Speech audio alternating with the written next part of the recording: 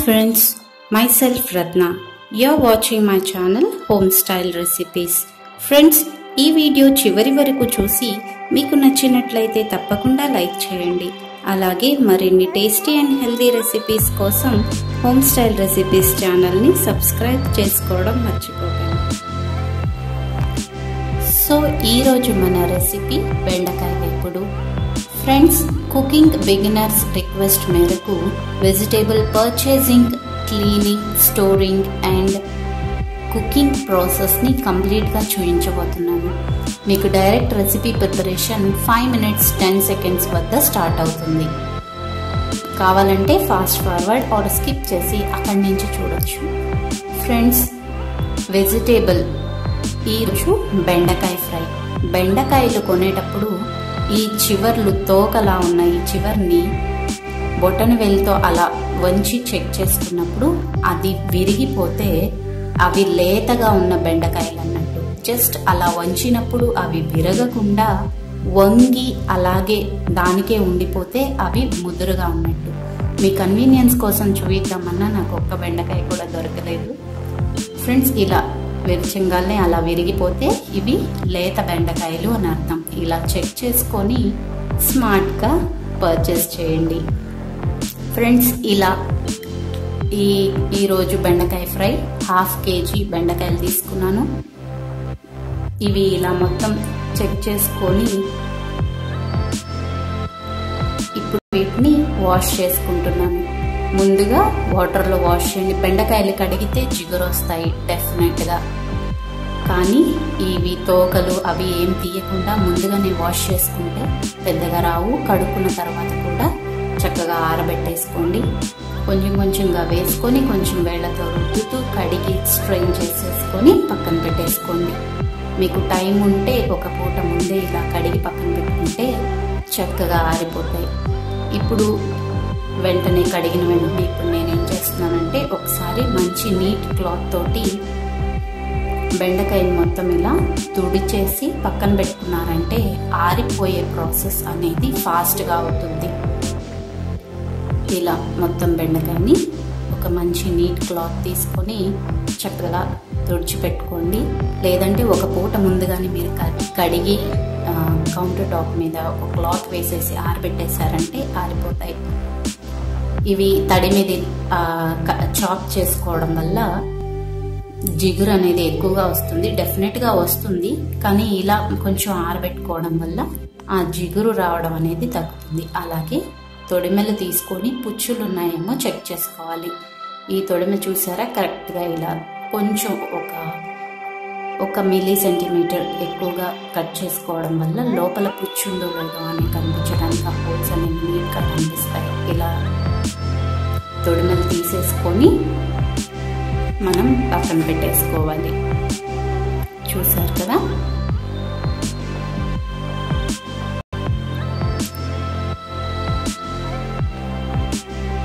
ఒకేసారి ఎక్కువ బెండకాయలు ఇలా తీసుకొని మీరు పుచ్చులు ఉన్నాయో డైరెక్ట్గా అలాగా చూసుకోవచ్చు. ఇలా తొడిమలు మొత్తం తీసి పక్కన పెట్టేసుకొని ఇలా తీసిన బెండకాయలు మనకి ఇప్పుడు రెడీగా ఉన్నాయి. వీటిని ఇప్పుడు మనం చాప్ చేసుకుందాం. ఫ్రెండ్స్ ఇలా కొత్తగా చాపింగ్ స్టార్టింగ్ బిగినర్స్ కోసం ముందుగా రెండు రెండు మూడు మూడు అలా ట్రై చేసుకోండి. వాళ్ళకి ఈజీగా ఉంటుంది కాబట్టి. ఇలా ఒకేసారి ఎక్కువ పెట్టుకోవడం వల్ల చాపింగ్ అనేది ఫాస్ట్ అవుతుంది. బెండకాయలు చాలా ఉంటాయి.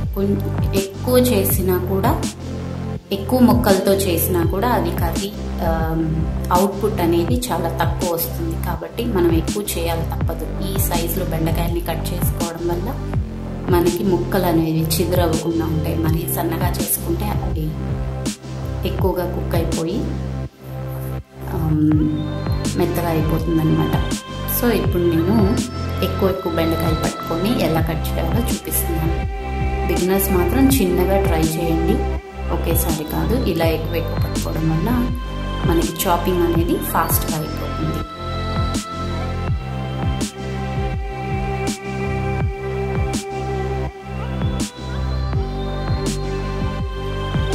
ఈ బెండకాయలు స్టోరింగ్ ఏం లేదండి తేగానే ఒక పాలిథిన్ కవర్లో కట్టేసేసి ఫ్రిడ్జ్లో స్టోర్ చేసేసుకోవచ్చు. సో ఇలా ముక్కలన్నీ తరిగి పక్కన పెట్టేసుకొని ఇప్పుడు కర్రీ ప్రాసెస్ స్టార్ట్ చేసేద్దాం. దానికోసం ముందు ఫ్రై కాబట్టి వేపుడు బాండీలో చేసుకుంటే బాగా వస్తుంది. బాండీ పెట్టేసుకొని ఒక రెండు టేబుల్ స్పూన్లు ఆయిల్ వేసుకొని అందులో కొన్ని ఆవాలు దంచుకున్న వెల్లుల్లి రెబ్బలు వేసుకున్నాను. ఫ్రెండ్స్ ఏమేమి ఇంగ్రీడియంట్స్ వాడాను ఎంత క్వాంటిటీ వాడాను అనే దానికోసం డిస్క్రిప్షన్ బాక్స్ని చెక్ చేసుకోండి. కొంచెం అన్ని శనగపప్పు వేసుకున్నాను వెల్లుల్లి వేగిన తర్వాత జీలకర్ర అలాగే కరివేపాకు. ఫ్రెండ్స్ ఈ ఫ్రైకి ఆనియన్స్ అవసరం లేదు. ఏ ఫ్రైకి ఆనియన్స్ అవసరం లేదు. కర్రీలో మాత్రమే ఆనియన్ ఫ్లేవర్ అనేది బాగా ఎక్కువగా వస్తుంది టేస్ట్ బాగుంటుంది. ఫ్రైకి నో నీడ్. ముందు ఒక గుప్పెడు బెండకాయ ముక్కలు వేసి కలిపేసేసుకున్నారంటే తాలింపు ఎక్కువగా వేగకుండా ఉంటుందన్నమాట. కాబట్టి ముందు కొంచెం వేసేసుకొని కలిపేసుకొని తర్వాత మిగిలిన ముక్కలన్నీ కూడా వేసేసుకొని తాలింపుని నీట్గా కలిపేసేసుకోండి. ఇప్పుడు ఇలాగా మీడియం ఫ్లేమ్లో మూత పెట్టద్దు ఫ్రెండ్స్. మూత పెట్టేసుకున్నారంటే డెఫినెట్గా ఆ బెండకాయలోంచి జిగురు అనేది ఎక్కువగా వస్తుంది. ఏం లేదు తేమ తగిలే కొద్దీ జిగురు ఎక్కువగా వస్తుంది అంతే.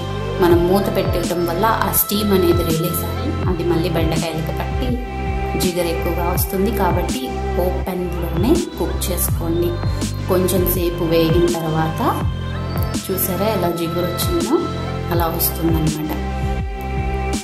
ఇలా కొంచెం వేగిన తర్వాత ఇప్పుడు ఇందులో నేను కొంచెం అంత ఉప్పు పసుపు వేసుకుంటున్నాను. ఇవి మీ టేస్ట్కి తగ్గట్టు వేసుకోండి.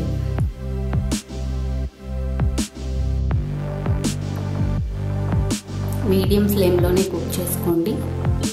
మధ్య మధ్యలో కలుపుతూ బాగా ఇలా మగ్గించే మగ్గినివ్వండి బాగా. బాగా ముక్క సాఫ్ట్ అయ్యే వరకు వేయించుకుంటూ ఉండండి. ఇప్పుడు నేను మీకు చూపిస్తాను. మన బెండకాయలు కుక్ అయిపోయింది.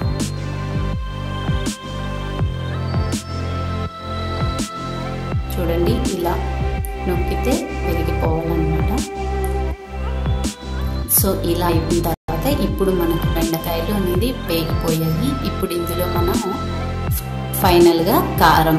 మనం ముందుగా తాలింపులో వెల్లుల్లి వేసుకున్నాం కాబట్టి ఓకే. లేదంటే తాలింపులు వేటికైనా వేపుళ్ళకి వెల్లుల్లి కారం చాలా టేస్టీగా ఉంటుంది. ఫ్రెండ్స్ ఫర్దర్గా నేను అన్ని రకాల కారం పొడి కూడా చూపిస్తాను. ఏ కర్రీకి ఏది బాగుంటుందని కూడా సో ఇలా కారం వేసిన తర్వాత ఆ కారం వేయడానికి కొంచెం ఒక హాఫ్ అ మినిట్ దాన్ని బాగా వేయించుకోండి. అంతే ఫ్రెండ్స్ సింపుల్గా బెండకాయ ఫ్రై అనేది మనకి ఇంకా రెడీ అయిపోతుంది. కొంచెం ఆ కారం వేగే వరకు వేయించుకున్నారంటే వేయించేసుకొని దించేసుకోండి. వేడివేడి అన్నంలో చాలా టేస్టీగా ఉంటుంది. ఫ్రెండ్స్ ఈ ఫ్రై మీకు నచ్చితే లైక్ చేయండి షేర్ చేయండి అలాగే సబ్స్క్రైబ్ చేయండి. Thank you for watching friends.